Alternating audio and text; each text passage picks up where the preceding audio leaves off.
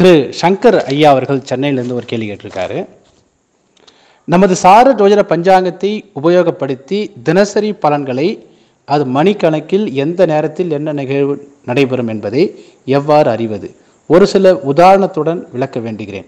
இதன் மூலம் நமது ஜாதகத்தில் உள்ள பன்னிரெண்டு பாவங்களின் சப்ளாடு சரிதானா என்பதை அறிந்து கொள்ள முடியுமா? அப்படின்னு கேட்டிருக்காரு. அதாவது நம்ம ஜாதகத்தில் நம்ம பலன்களை நிர்ணயிக்கும் போது நான் திரு திரும்பவும் நான் சொல்கிறது என்னென்னா அதாவது விதி மதி கதி அப்படின்னு பார்க்கும்போது விதி அப்படிங்கிறது எழுபது சதவீதமும் அதாவது கொடுப்பனைன்னு சொல்லுவோம். இது நிலையானது.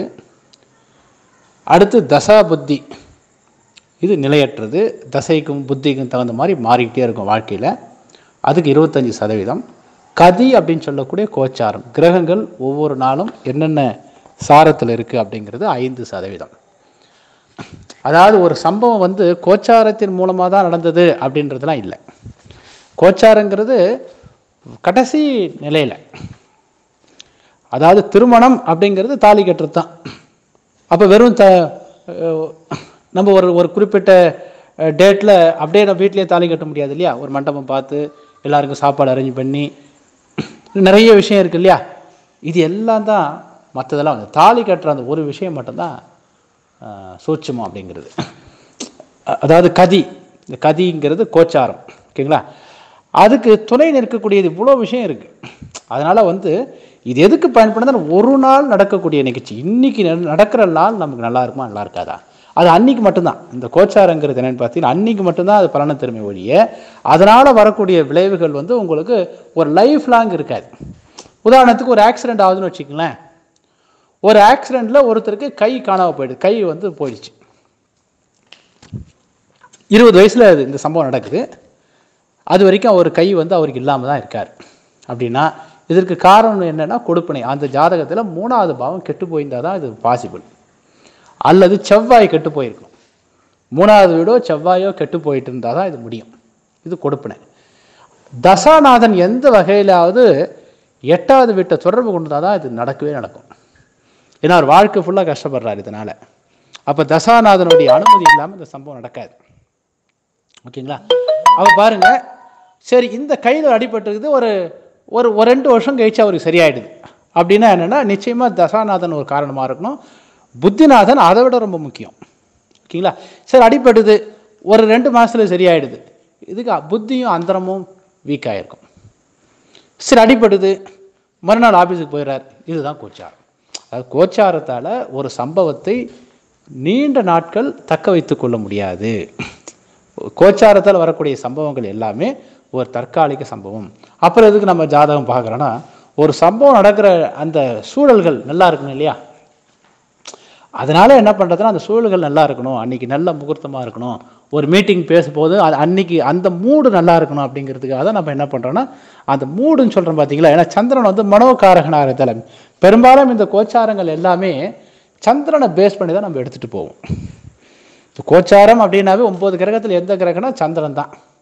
கிட்டத்தட்ட கோச்சாரத்தில் கிட்டத்தட்ட ஐம்பது விழுக்காடு சந்திரனுக்கும் மீது ஐம்பது விழுக்காடு எல்லா கிரகத்துக்கும் கொடுத்துக்கலாம்.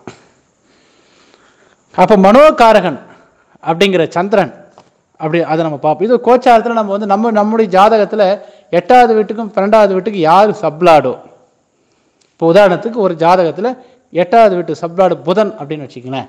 அந்த புதனுடைய நட்சத்திரம் வரும்போது அந்த புதனுடைய நட்சத்திரம் ஆயில்யம் கேட்டு ரேவதி இந்த மூணு நட்சத்திரம் வரும்போது நீங்கள் பார்த்தீங்கன்னா அந்த முதல் ஒரு மூணு மணி நேரம் கொஞ்சம் இயற்கையாகவே ஒரு டென்ஷன் இருக்க தான் செய்யும்.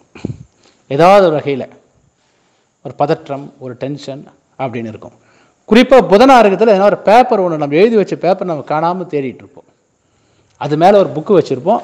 அதுக்கப்புறம் அது மூணு மணி நேரம் கழிச்சு அந்த புக்கு எடுக்கும்போது அந்த பேப்பர் அங்கே இருக்கும். அந்த மாதிரி. அப்போ அந்த கிரக காரத்தோடு நம்ம சேர்த்துக்கிறோம். இல்லை செல்ஃபோன் எங்கேயாவது காணாமல் வச்சுருவோம்.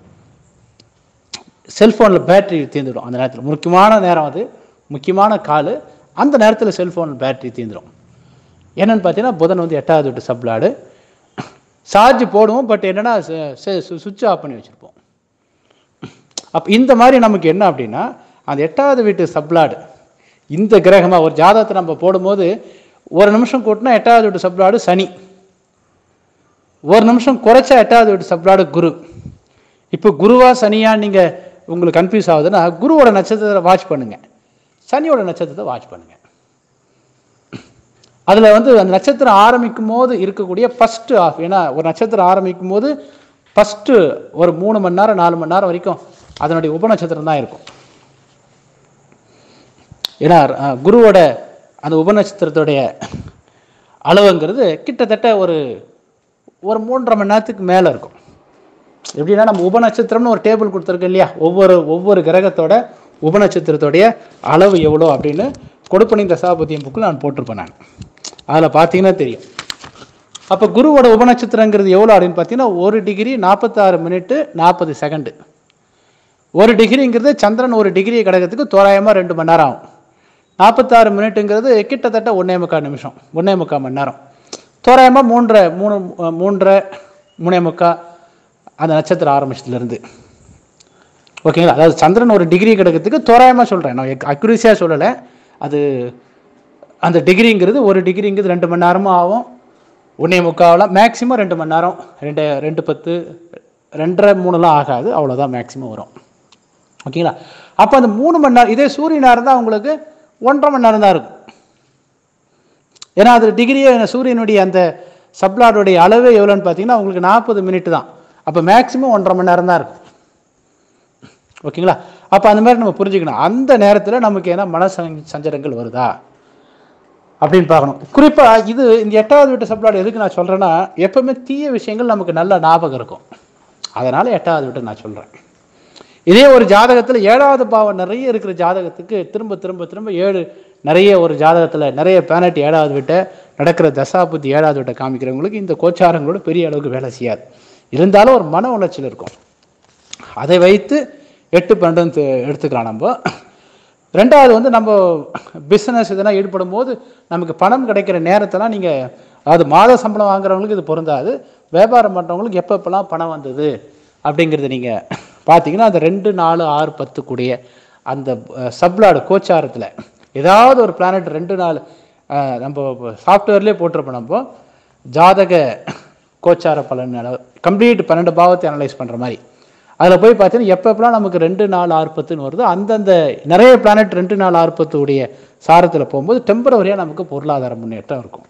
அதாவது ஒரு அந்தரங்கிறது நாலு மாதம் இருக்குன்னு வச்சுங்களேன் இந்த அந்தரத்தில் எந்த காலகட்டம் நல்லா இருக்கும் நமக்கு? அப்படின்னு நம்ம அனலைஸ் பண்ணிட்டு வரும்போது பொருளாதார முன்னேற்றம் வந்து ரெண்டு நாள் ஆர்பத்துக்கூடிய நிறைய பிளானட் அதனுடைய சாரத்தில் போகும்போது இருக்கும். அதாவது என்ன இந்த கோச்சாரம் என்பது மிகப்பெரிய விளைவுகளை உண்டாக்காது. ஓரளவுக்கு தான் அது. அது நம்ம நல்ல நேரம் அதாவது நம்ம ஜாதகத்தில் தவறு இருந்தால் அது சப்ளாடு இதுவா அதுவான்னு செக் பண்ணுறதுக்கு நம்ம சந்திரனுடைய கோச்சாரத்தில் எட்டாவது வீட்டு சப்ளாடும் பன்னெண்டாவது வீட்டு சப்ளாடும் யாரோ அவருடைய நட்சத்திரம் ஆரம்பிக்கிற அந்த முதல் ஒரு மூணு மணி நேரம் நாலு மணி நேரம் எப்படி இருக்குன்னு நம்ம வாட்ச் பண்ணிட்டு வந்தால் நமக்கு இதுவா அதுவான்னு தெரிஞ்சுக்கலாம். அதுக்கப்புறம் ரொம்ப ஈஸி அந்த கிரகத்தோட புத்தி. இப்போ ராகுன்ற கிரகம் எட்டாவது வீட்டை தொடர்பு கொள்ளுது. ராகுவோட சாரத்தில் ஏதாவது பிளானட் இருக்கு இல்லையா அந்த பிளானட்டோட புத்தியில் நமக்கு பிரச்சனை வந்ததா? இல்லை ஒரு நிமிஷம் கூட்டுறோம் குரு வருது. அப்போ குருவோட சாரத்தில் இருக்கிற பிளானட்டோடைய புத்தியில் நமக்கு பிரச்சனை வந்ததா? இந்த மாதிரி நம்ம பார்த்துக்கலாம்.